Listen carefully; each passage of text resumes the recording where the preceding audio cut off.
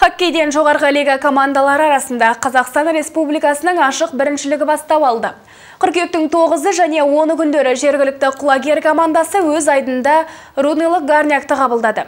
Құрамының жартысын жаңартқан қызылжарлық команда тартымды ойын өрнегін көрсетіп, алғашқы кездесуде қарсыласын ойсырата жеңді.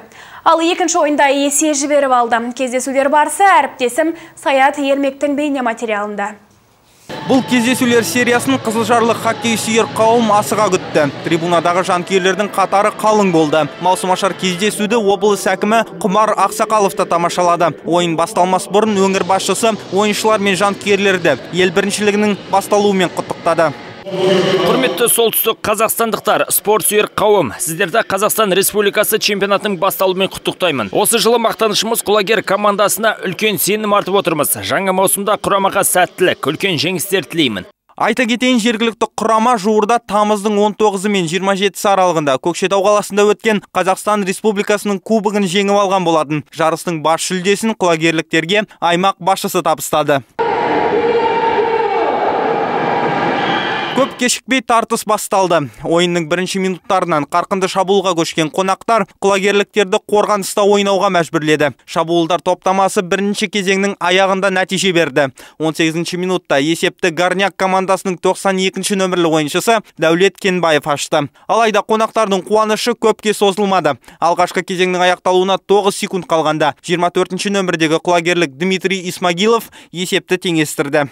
Үзіліске құрамалар бірде бір есебімен тарқады. Ал жанкүйерлер кездесудің алғашқы 20 минутынан алған әсерлерімен бөлісті.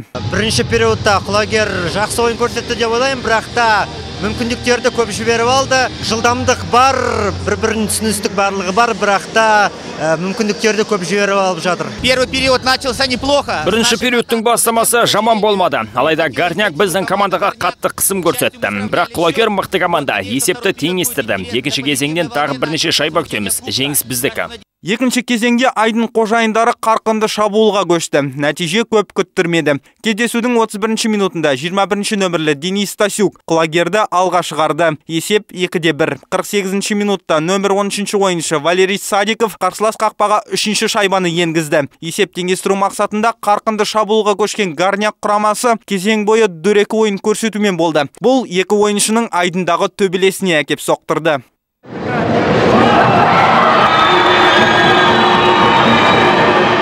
Алайда кездесу соңына дейін есеп өзгермеді. 3-те 1 жеңіс жергілікті құлагер командасының еншісінде победа на любая ойын біздің команда үшін сәтті болды. Қарсылас осал емес көптен бері ойнаған жоқпыз. Сондықтан кездесу физикалық тұрғыдан оңайға соқпады дегенмен бапкерлердің тапсырмасын орындап алғашқы кездесуді жеңіспен аяқтадық. Келесі күні екінші кездесу өтті. Өкінішке қарай бұл күні ауыр жарақаттанып қалған құлагер құрамасының капитаны Илгиз Нуриев ойынды жалғастыра алмады. Көш басшысыз қалған құрама бірінші кезеңнің соңында Гарняк командасының 71 нөмірдегі шабуылшысы Алексей Репкиннен шайба жіберіп алды. time. Екінші кезеңде құлагерліктер қарқынды шабуылдаса да қарсылас қақпаның осал тұсын таба алмады. Алайда үшінші периодта ойын барысы өзгерді. Елу бірінші минутта жиырма бірінші нөмірлі құлагерлік денис стасюк есепті теңестірді. Кездесудің негізгі уақытын бірде бір есебімен аяқтаған құрамалар 5 минуттық овертаймда мықтыны анықтады. Құрама капитанының жоқтығынан ба әлде басқа себеппе бұл жолы біздің хоккейшілеріміздің